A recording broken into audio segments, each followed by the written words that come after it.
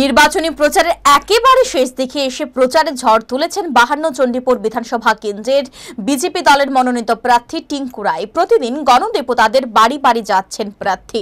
সোমবারও টিঙ্কু রায় গণদেবতাদের বাড়ি বাড়ি গিয়ে দলের হয়ে ভোট চান। প্রার্থী পদ্মফুল চিহ্নে ভোট দেওয়ার জন্য সকলের কাছে আহ্বান জানান। নির্বাচনে নিজের তথা দলের জয়কে সুনিশ্চিত করতে প্রতিনিয়ত প্রচার চালিয়ে যাচ্ছেন প্রার্থী। এমন একটা গ্রাম যেখানে দীর্ঘ পঁচিশ বছর। এই গ্রামটা আজ নয়, পঁচিশ, তিরিশ বছর, চল্লিশ বছরের গ্রাম। না রাস্তা রয়েছে, না জলের ব্যবস্থা রয়েছে, না মানুষের এখানে যোগাযোগের সকাল থেকে সন্ধ্যা অবধি কোনো গাড়ি থাকে না। প্রায় তিন, সাড়ে তিন কিলোমিটার রাস্তা মানুষ পায়ে হেঁটে বাজারে যেতে হয়।